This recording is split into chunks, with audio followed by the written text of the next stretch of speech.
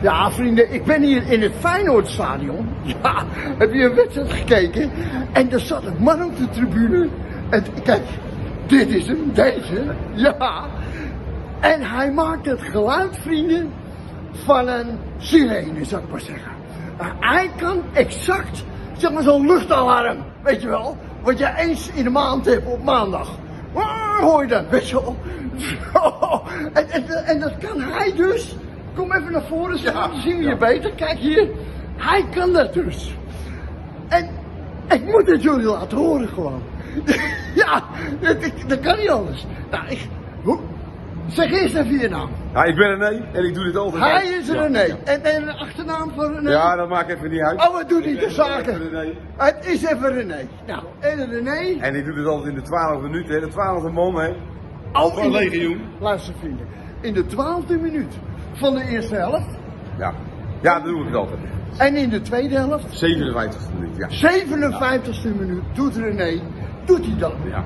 Hoe noem jij het zelf? Eh, eh, eh, Het is gewoon een, de, de 12e man. Ja, maar het geluid, het geluid- Ja, het is gewoon een sirene.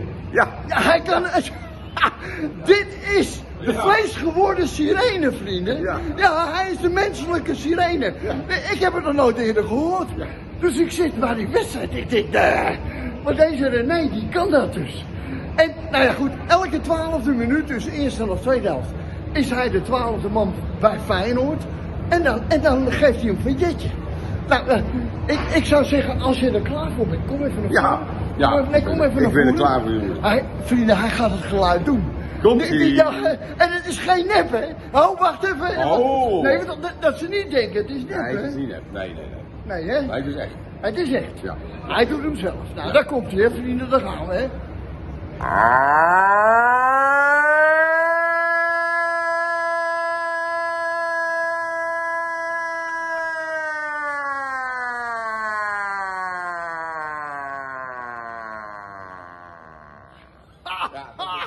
vrienden, vrienden, wat hebben we René? Ik heb toch niks te veel gezegd, hè? Hoe vond je die nou? en René doet hem dus al. Dat Ja, al. ik of 30 denk ik. 30 doet hij hem al. Ja. Hoe heb je dat ontdekt, René? Vertel. Hoe is dat gegaan? Op een feestje ging dat een keertje. Ja, ja. op- ja. Ja. Ja, ja. Gewoon op een Op feest? een feestje en daarna met de kinderen op het strand in Italië, overal maar ik maar ben. Maar stond jij of stond je een keer in de badkamer en denk jij van ik... Ja, ga ik denk, ik heb een lekkere zware stem. Ik denk, gooi de sirene niet uit. Nou zeg. Luister, mag ik... ik vind het geweldig gewoon. Mag ik, mag ik hem nog één keer horen?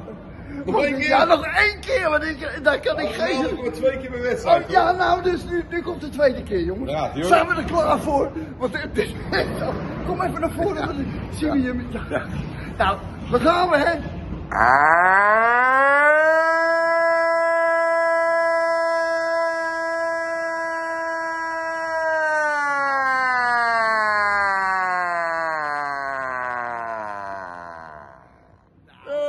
fantastisch. Nou, René zegt iedereen maar gedag. Jongens, de mazzel allemaal. Ja, de mazzel. We staan bovenaan. Ja, fijn als ze bovenaan. Dag.